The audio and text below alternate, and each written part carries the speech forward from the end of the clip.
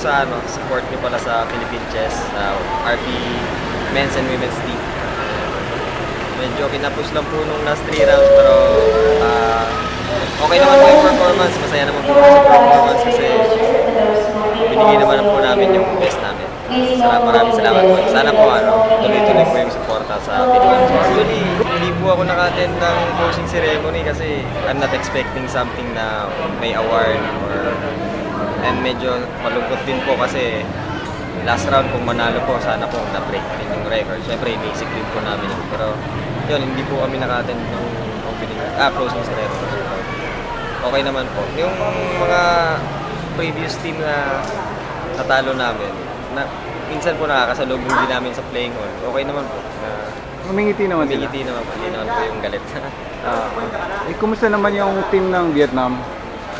Okay naman po. Ah, nanggaling po sila sa, nung mga middle rounds po, nasa lower boards po sila. So, medyo nakabuild siguro po sila ng momentum doon. And, yun, medyo nakapahinga sila kasi galing sila sa gitna. Hindi sila yung babad sa ah, top boards talaga.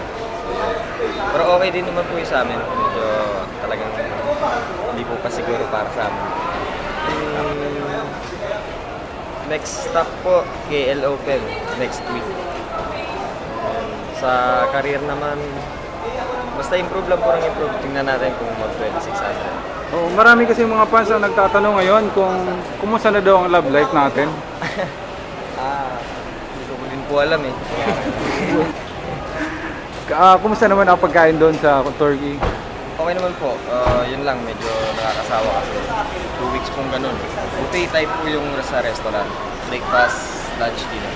Buffet type po siya. So, pero pare-parehas po yung nakaserve. Minsan po walang rice. Ano, ah, normal naman po sa tournament yung naka-hotel.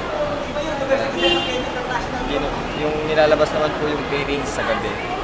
So nakapag-fight kami ng games. Tapos sa umaga, doon kami nag-fight. Sa amin po yun ni Mark. Pero sa ibang players po, hindi po alam kung sa gabi po parents. Po, ma- ma- may, ma- may mga ano din po. Uh, or, may mga organizing committee din po dun sa hotel namin, sa baba, sa namin. So if ever kung may problema, ayan, nandun po agad sa yung kompleto po lahat, yung mga amenities, tas lahat sa mga ganong tournaments, top, yung lahat po ng boards, nasa live po sa internet, may coverage, tas basta po yung in general na support sa chess, medyo less po sa atin. So, kasi bu- mag, kailangan ko rin po magpa-extend ng passport para sa KL chess kasi Sunday po yung alis namin and kasi mag-expire po yung passport ko 6 months prior departure sa KL. So, kailangan po magpa-extend ng passport bukas. Masarap po maglakad kasi minsan mahangin siya. Malamig yung hangin. And sarap yung shawarma. Hindi ko po alam kung anong nangyari sa team nila pero siguro po nangyayari naman po talaga yung ganun kahit malalakas na din po ano.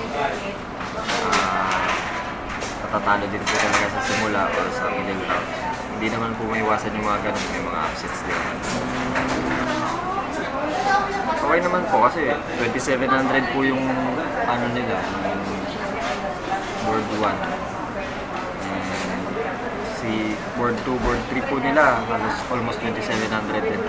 Eh, yun nga po sabi ko, kahit malalakas po natin, hindi po natin masabi na nandun sa top kasi lahat po ng mga players nag-i-improve and nagpe-prepare din naman po yung mga lower seeds like Philippines. So, hindi po natin masabi na porke lamang sila sa rating.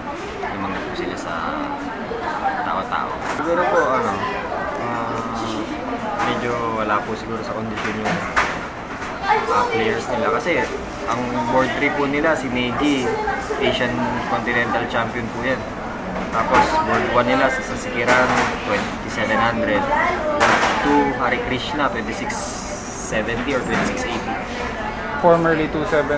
Apo, for 2700 din po. So, hindi po natin din masabi na may hina sila kasi malalakas po yung players nila pero nagkakataon lang po talaga na siguro po ah, masama din po talaga laro. Nahirapan po sa sa players. Tapos if given a chance, um, anong board ang pipiliin kung papapiliin si GM Barbosa? Ah, Board 1 dapat? Ay, hindi naman po boardwalk kasi akat pa rin po talaga sila.